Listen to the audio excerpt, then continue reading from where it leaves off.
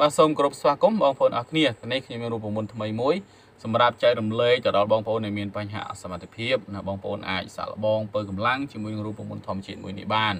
បាទគឺយើងប្រើពងមាន់ណាពងមាន់មួយគ្រាប់មកបាទតោះមកយើងប្រើទឹកឃ្មុំហើយខ្ទឹមហើយនឹងទឹកដោះគោឆៅឬក៏ទឹកដោះគោស្រស់ដំបងដៃបងប្អូនរុះខ្ទឹមរុះខ្ទឹមពីកពឹសមករុះខ្ទឹមឲ្យម៉ត់ល្អឬមួយក៏យើងដំចិញ្ច្រាំឲ្យម៉ត់ល្អ